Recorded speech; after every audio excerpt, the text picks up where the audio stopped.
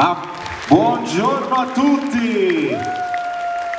Vieni Blu, vieni qua Blu, vieni qua. Aspettate eh, ragazzi perché non è, non è molto semplice. Vieni Blu, lo accompagno io piano piano. Mettiti qua Blu un attimo, eh. Non l'ho mai fatto parlare in napoletano, però forse... Come state, Wagyu? Tutto a posto?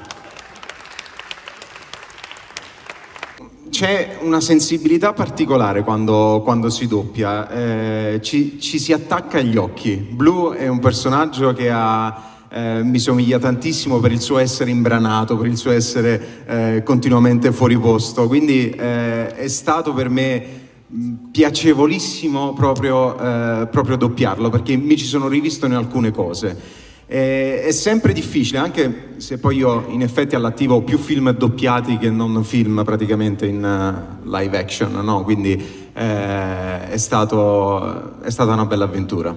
Difficile, ma comunque una bella avventura. E la domanda sorge spontanea: ce l'avevi l'amico immaginario quando eri più piccolo? Ce l'hai ancora? Voi ce l'avevate l'amico immaginario da piccoli? È una cosa molto poco italiana.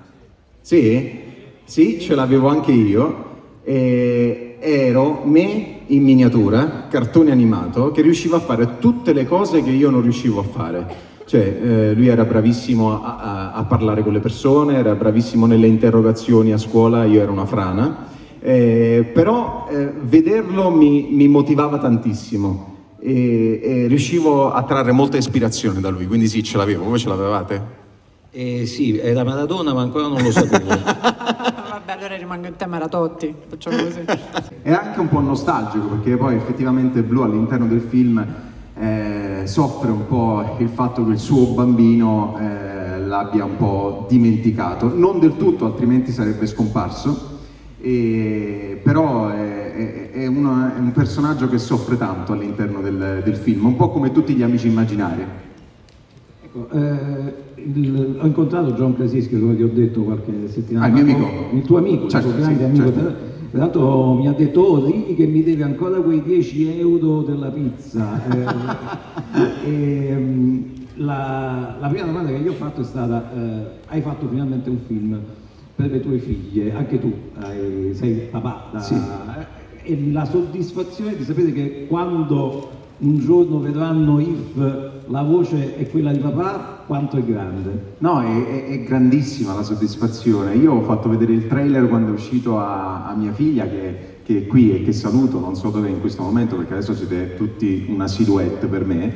E ecco, lì, ciao amore, ti amo. E, e aveva, era super felice di vedere, di vedere il trailer, di vedere il personaggio, aveva quegli occhi proprio, sai, super sgranati eh, con la meraviglia di, di, sentire la mia voce su Blu, è stata una bellissima soddisfazione. Poi io e lei giochiamo tantissimo con le voci, lei è un'altra molto molto brava a fare le vocine.